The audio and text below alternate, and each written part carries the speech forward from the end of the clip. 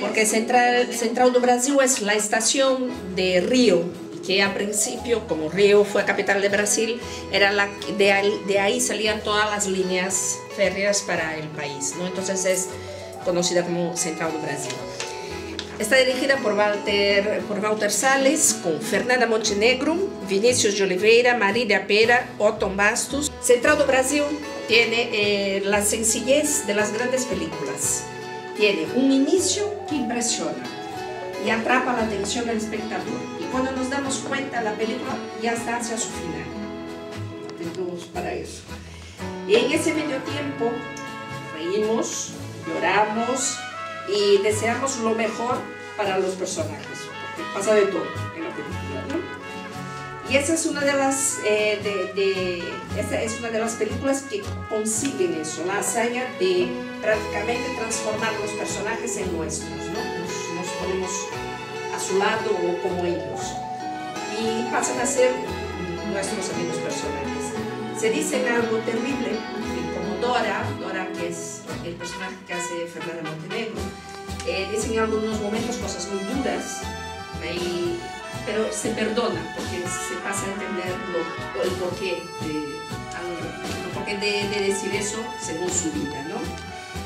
Tiene la parte, eh, bueno, la parte técnica de la película, dicen que todo el mundo dice, dijo, fueron las candidatas al Oscar, la película extranjera en el Oscar, ¿no? que es impecable porque tiene una bellísima fotografía, porque pasa por toda parte de nordestina de Brasil, donde Brasil hace la barriga, así, os dais cuenta por el mapa, ¿no? Eh, salen del río, pero van hacia esa zona, ¿no? que es la zona más árida de Brasil, se llama Sertão. Entonces pasa sonora, impacta mucho y ayuda mucho también a la, a la película. Da un, tema angustiante, sofocante a veces, eh, la sonora. Después eh, hicieron un, un, estudio un poco sobre esa, esa película que me pareció interesante. A nivel sociológico, abre una ventana para importantes aspectos de la sociedad, tales como la ausencia de orden, la violencia, la pobreza física y intelectual, la invasión agresiva de los espacios, que está muy bien eh, mostrado en la escena de la invasión en el, de los arcenes en, la estación. Y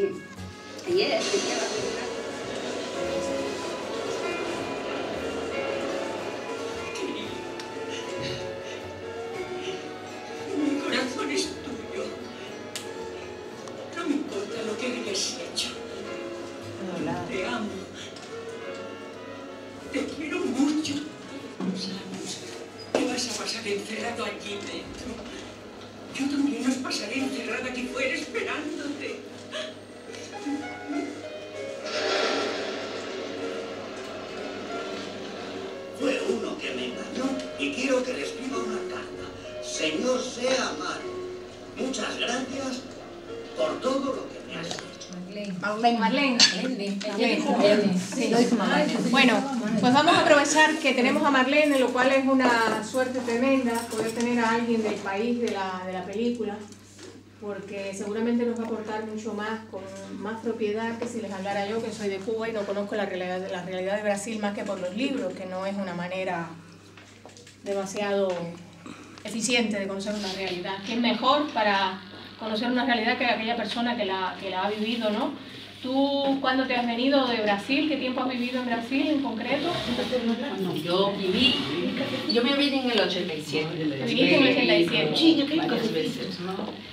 Pero eh, tampoco es la realidad que yo he vivido. Es, Bueno, porque, no, no quiero explicar, porque hay muchos Brasiles. Claro.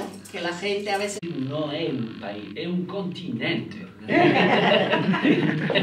Bueno, Bueno, esa frase fue todo. Anita, Anita siempre dice Brasil es un mundo, porque un mundo es Brasil, es verdad, digo Brasil, yo amo Brasil. No, sí, sí, por supuesto. O sea, es imposible no amar. No, no por lo grande, porque digo, si es por grande, pero este, esa riqueza, este, aparte esa espiritualidad, ¿no? Esa. Ahora, eh, de más o menos de qué año es la película. 98. ¿Y, y- Mira. y es real el analfabetismo? Porque parecía gente Joven. joven. En esa zona sí. Eh, no sé si está ambientada justo en esa década, ¿no? Pero yo puedo de- decir que en- hasta los 80 era así. Era. Porque Y seguramente El analfabetismo que había en Brasil. Y seguramente en los 90 mucho. Mira, la, es- la escuela en esas ciudades pueden estar a miles de bueno, a miles no, pero a muchísimos kilómetros de, de distancia. es muy no- complicado, no, te hay digo medios de comunicación. Te digo en, eh, lo que me, me llamó Pero más la esa, atención. no, esa gente, En Río. mira, el sertón inmigrantes. es la parte que no llueve de Brasil, Sí, es la parte sí, sí, sí. árida, Sí. que no, no, no sacas Sí, nada de esa tierra. sí. Entonces todos se van arriba y São Paulo. Entonces, claro, tú llevas el analfabetismo contigo porque no, Sí, sí, no sí, vas a aprender en, las tres, en los tres días de, de autobús que, que tardas, ¿no? Entonces sí, que, que- y como muchos saben lo mínimo. A mí, por no ejemplo, para votar, vamos. La gente se empeña en enseñarles lo suficiente para que puedan votar, porque ahí es un voto muy comprado. Porque no hay una infraestructura de- desde el gobierno creada para... Ahora sí la hay. Ahora, Ahora em- sí. a empezó a partir de Lula, pero no es que también sea la maravilla, ¿no? Eh, de Pernambuco a São Paulo debe ser unos cuatro o cinco días de, de autobús. Sí, sí, sí. Entonces, No, además la parte de la película que sa- sal- salís del río, no, salís del río en un autobús más o menos, después la terminal que es grande, después llegas a otra, cada vez se va cambiando el autobús más pequeño, más viejo, más, y te vas metiendo... vas Bueno, lo muestra acá en la película. claro, y hasta que llegas a ese pueblo ahí camión. que... Al pueblo A mí lo que me llamó la empiezas en un camión y después ves la camioneta con mucha gente. Otra cosa que me llamó la atención, que generalmente se mezcla. Y aquí se vio muy católico, muy católico. Sí, Sí, pero mucho la brujería. Ahora empiezan muy- a ser muy evangélicos, pero bueno. Claro, eh, pero sí. siempre es la mezcla de las dos religiones, ¿no? La, la Pues ahí no había influencia. Así No. no. No no. que embargo, el muy- norte eh, tiene Sí. influencia africana. Sí, pero en esa, eh, porque esa ciudad es de. Padre Cícero, que es un- como un santo para ellos, ¿no? Y entonces el de la muy- foto, que quitaban la foto. Sí, ese. el- entonces es, dicen que es, que es muy milagroso y tal y cual. Entonces es una influencia muy católica ahí, no es, no tiene la parte del candomblé. Y además el candomblé y todo eso es más en el litoral, sí, más la costa. en, en la la costa, el agua. en la costa y sería más en Salvador, Recife, esas zonas, Sí, no tanto en el, inter- en el interior. Donde llevaban los, los barcos negreros con esclavos. Sí, sí, Marcela. No, que a mí de Brasil la película que me gustó y me encantó y que tiene mucho que muy tal, Doña Flor y sus dos maridos, con Doña con Sonia Braga. Sonia Braga, ¿no? Sí. Ay, preciosa. Eh, qué película, eh, me encantó. Pues la otra que no me gustó mucho fue la de Ciudad de Dios. Muy fuerte, muy muy real. Y no puedo también, creer, no puedo también, creer que esté pasando eso en Brasil, no sé. Pero bueno, eh, de todos modos está muy bien hecha. eh, Podemos opinar. No, la docente, porque la, la decía que era docente, si no a mí el tema de la docencia me pareció, digo, no sé, trato de ver el grado de docencia, porque digo, a mí dejó muy, muy, muy, muy mal parado la docencia, no digo la, No, pero la ella, maestra. porque ella tenía una vida muy particular. Por lo que ¿no? sea, independientemente, pero independientemente, no, yo no estoy los- no juzgando, sino digo, ah, eh, digo como, Los como maestros tema de nivel. muy poco en Brasil. Exactamente. Ganan digo. muy poco. Bueno, no por eso, si la calidad no va de la mano, porque de si la, por eso de la enseñanza primaria pública. Ganan muy poco. La jubilación es casi nada. Entonces es una de las reivindicaciones. Brasil falla, falla mucho en la educación. La educación es para ricos. En Brasil es así. Es para ricos. Y aquí dentro de poco también. Eh, no, la gente de poco poder adquisitivo no tiene Acceso. acceso a la, a la educación. Es, es muy mala y... y Pero muy- cualquier zona de Brasil, Por todo. o más en esas zonas. Bueno, en esas zonas ya... Por eso. Pero lo que es en las grandes ciudades también. En las grandes ciudades eh, pasa lo siguiente, por ejemplo, tú ahora que con todo esto que se está oyendo de Brasil, por ejemplo, las universidades buenas, que son las públicas, o las, o las privadas buenas, tanto las públicas como las privadas buenas solo van los, los hijos de ricos porque han estudiado en colegios privados buenos que le han dado buena educación Y pueden acceder, claro. y pueden acceder. Entonces, no, no tiene esa connotación de la educación pública. La educación pública es buena en la universidad, pero solo acceden a los que, los que de verdad pueden pagar. Es la contradicción. Y generalmente en las, en las privadas, hay privadas buenas y las privadas no tan buenas, van los que tienen que, las privadas que tienen cursos por la noche es porque la gente tiene que trabajar para pagar sus estudios por la noche. De ¿Por qué no hay becas? la No docencia hay lo becas. decías porque...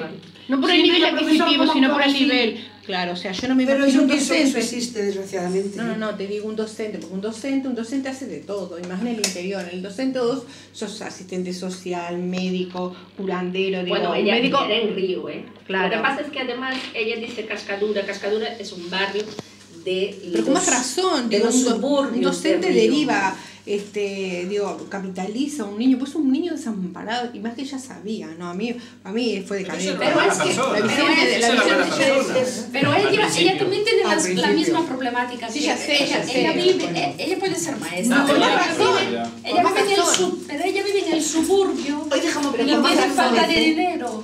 Pero con más razón, Marlene, yo digo, si te pasó lo mismo, si eres docente, si tienes un grado mínimo de intelectualidad, se supone que pues, eres capaz de revertir y de cambiar. Somos agentes de cambio. O sea, me niego. Ella a- cambia a- después. Sí, bueno, pero- ella ve el niño. papel de ella es lamentable. El niño no. en cambio el niño tiene una formación familiar de esa madre, mirá, Melissa, yo no, no soy de Pero- esto, pero pero, te quiero decir muy sólida, digo, porque el niño siempre le dice tú mientes, Es es, que más, la conoce, que sabe que le no mintió lo vales del nada, padre. Sí, cosa no vale Mira, nada. es Aparte que lo tiene. yo- fue fue un estudio que me, que me pareció A mí- a nivel sociológico, ¿no?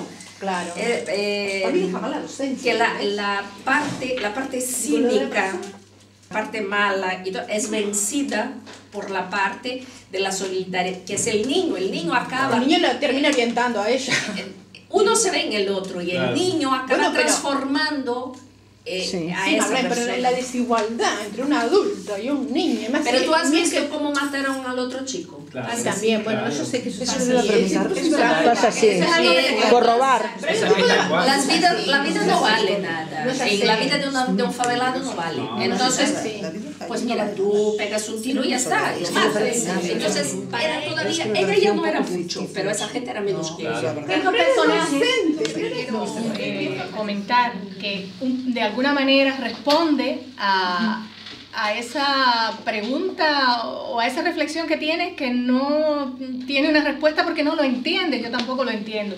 Pero también hay que ver que estos personajes están inmersos en una realidad que es muy descarnada, una realidad en la que vale más un producto eh, robado en una tienda que la vida de una persona. Eso decía yo, es una realidad, suburbio una realidad en la que un niño se cambia por un televisor. Los valores. Eh, es- no es el personaje, es la sociedad. Claro, eh. el claro. personaje es el que nos, a través del cual, es a través del cual vemos esa decadencia de los valores humanos. Yo no sé Pero cómo porque ella está- llegó a docente. ¿Cómo Exactamente, ¿Cómo llegó a exactamente. ¿Ella de dónde Lo que salió? será la docente, es lo que yo me porque ella pregunto. de- lo que se viene de un. Brasil que no Pero ella se fue de su casa a los Sí, 16 esa años. Digo, no anduvo no, no, Sí. de a los 16 Pero años.